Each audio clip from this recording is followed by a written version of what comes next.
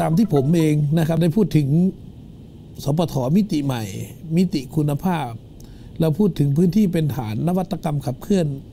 วันนี้เราก็เห็นสัปดาห์ที่ผ่านมาก็ขอชื่นชมที่โรงเรียนในการที่จะกล้าตัดสินใจในการที่จะดูบริบท แล้วก็ดูสภาพในการจัดงานวันวันแม่นะครับ ของโรงเรียนอนุบาลศรีธาตุอำเภอศรีธาตุจังหวัดอุดรธานี ซึ่งก็เป็นข่าวทางหน้าหนังสือพิมพ์และทางทีวี ว่าท่านพอนั้นได้มีปรับรูปแบบของการจัดงานวันแม่ให้ตรงกับบริบทของข้อมูลของนักเรียน ซึ่งผมคิดว่าสิ่งนี้ก็คือจุดเริ่มต้นในการที่เราจะยึดนักเรียนเป็นฐานนะครับ แล้วก็เอาข้อมูลที่มีอยู่มาออกแบบในการที่จะกล้าในการเปลี่ยนแปลง แต่การเปลี่ยนแปลงนั้นเปลี่ยนแปลงในทางที่ดี และทำให้ทุกคนมีความสุข มันก็จะตอบโจทย์ในเรื่องของทำให้นักเรียนมีความสุข